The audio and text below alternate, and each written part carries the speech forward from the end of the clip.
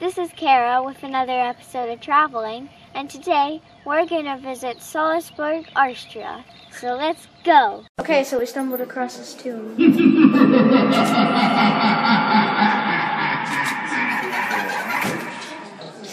oh my god, Kara, your eyes were red.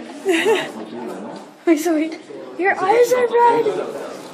Okay, so we just got these awesome pretzels. Mom got a um, apple.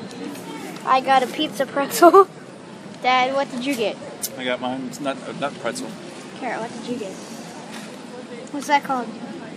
I don't know, but we just call it donut pretzel. Actually, I think that's what it's called. You like it? No, it's not what it's called, it's uh,